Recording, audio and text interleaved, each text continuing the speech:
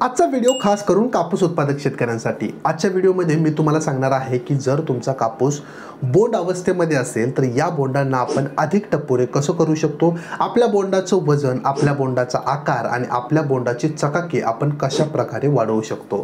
त्यामुळे तुम्ही जर कापूस उत्पादक शेतकरी असाल तुमचा कापूस देखील बोंड अवस्थेमध्ये असेल तर नक्कीच हा व्हिडिओ तुमच्यासाठी खूप महत्त्वाचा ठरणार आहे. माझी तुम्हाला विनंती आहे की हा व्हिडिओ संपूर्ण पहा आणि व्हिडिओच्या शेवटी तुमच्या प्रतिक्रिया खाली कमेंट्स बॉक्समध्ये आम्हाला सांगायला विसरू नका. चला तर आजच्या व्हिडिओला सुरू करूया. व्हिडिओच्या सुरुवातीलाच मी शेतकऱ्यांच्या मनातील एक भ्रम या ठिकाणी दूर करू इच्छितो. शेतकरी मित्रांनो तुम्हाला जर तुमच्या कापूस पिकाच्या बोंडाचे वजन वाढवायचे असेल बोंडे अधिक टपोरे करायचे असतील तर त्याच्यासाठी अशी अचानक एक कोणती तरी आश्चर्यकारक फवारणी असू शकत नाही. नक्कीच तुम्हाला कापूस पिकाचे सुरुवातीपासून शेवटपर्यंतचे जे काही एकात्मिक व्यवस्थापन आहे ते अतिशय चांगल्या प्रकारे करणे गरजेचं आहे.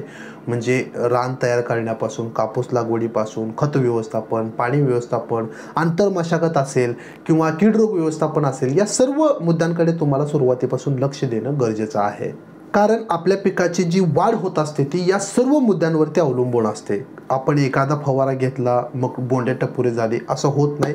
त्याला वेगवेगळे फॅक्टर त्या ठिकाणी कारणीभूत असू शकतात. चला तर या ठिकाणी आपण वेगवेगळ्या उपाययोजना तपासून पाहूया की कोणकोणत्या उपाययोजना केल्यानंतर आपल्याला बोर्ड टपोरे होण्यामध्ये कशा प्रकारे मदत होणार आहे. सर्वात पहिली उपाययोजना म्हणजे संजीवकाचा वापर करणे. आता बरेच शेतकरी वेगवेगळ्या पिकामध्ये संजीवकाचा वापर करतात आणि आवश्यक त्या अवस्थेमध्ये पिकाची गरजेनुसार वाढ करून आणतात किंवा त्या ठिकाणी वाढ थांबवतात.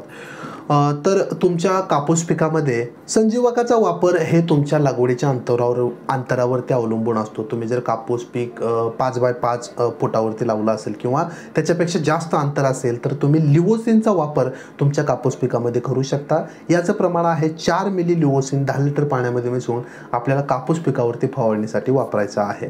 सोबतच तुम्हाला कापूस पिकाचा त्या ठिकाणी वरचा शेंडा देखील खोडायचा आहे जेणेकरून कापसाची उभी वाढ थांबणार आहे आणि त्या ठिकाणी जे काही फुलं आहेत बोंडा आहेत त्याच्याकडे अन्नद्रव्य स्थलांतरित केली जाणार आहेत ज्यावेळेस तुमचं कापूस पीक नव्वद दिवसाचं होईल त्यावेळेस बोरॉन पंधरा ग्रॅम होशी तीस मिली आणि नॅनो युरिया तीस मिली प्रति पंधरा लिटर पाण्यामध्ये मिसळून आपल्याला कापूस पिकावरती फवारणी घ्यायची आहे.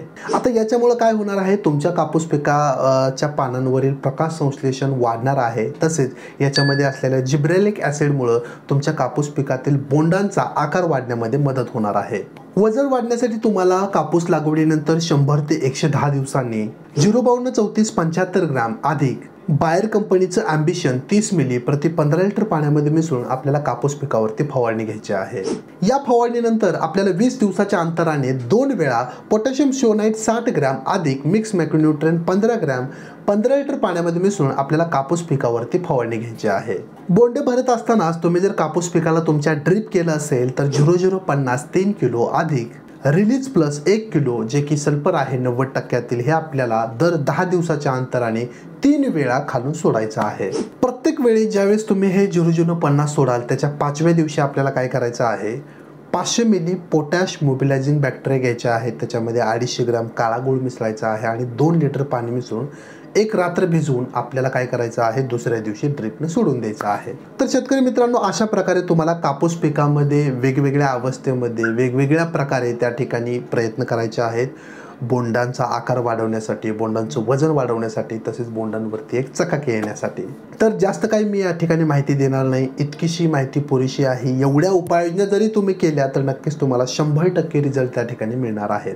आणखीन एक महत्त्वाची सूचना आत्ता व्हिडिओमध्ये जेवढ्या काही औषधांची मी तुम्हाला नावे सांगितलेली आहेत ही औषधे बऱ्याच वेळा आपल्याला नजीकच्या कृषी सेवा केंद्रामध्ये मिळत नाहीत. हरकत नाही हीच सगळी औषधे आता तुम्ही भारत ॲग्री ॲपमधून भरघोस डिस्काउंटसह फ्री अँड फास्ट डिलिव्हरीसह शंभर टक्के कॅश ऑन डिलिव्हरीसह घर बसल्या खरेदी करू शकता. भारत ॲग्री ॲपची लिंक मी डिस्क्रिप्शन बॉक्समध्ये दिलेली आहे. त्याच्यावरती क्लिक करा आणि आत्ताच या सर्व प्रोडक्टची या सर्व औषधांची नावे माहिती तसेच त्याची किंमत पहा आणि तुम्हाला आवडली तर खरेदी करा.